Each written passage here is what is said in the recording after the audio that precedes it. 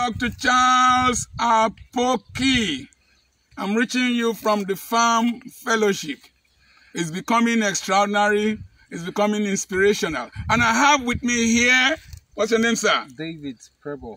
David Prebo. David Prebo is from Ogulagha Kingdom.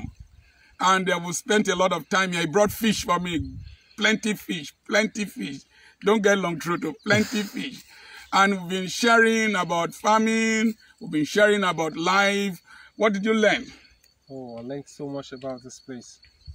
Indeed, I'm lucky I have met somebody like him.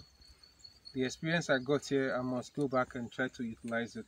I think it's something that somebody need to go and do something about. That's great. The experience you've learned here, you want to go and replicate. And God told me years back, Second Timothy chapter 2, verse 2. What you have heard me say in the presence of many witnesses, entrust to reliable men who are able to teach others. What we are doing here, lights Use your candle to light another man's candle. It will light another man's candle. It will light another man's candle. And by the grace of God, we will light up Nigeria. We will light up Delta State and we will light up Africa. Thank you so much for coming. Looking forward to seeing you again with your friends. And God bless you. I'm your friend, Dr. Charles Apoki. Look for somebody's candle to light. Don't put off another man's candle. It will not make your own brighter.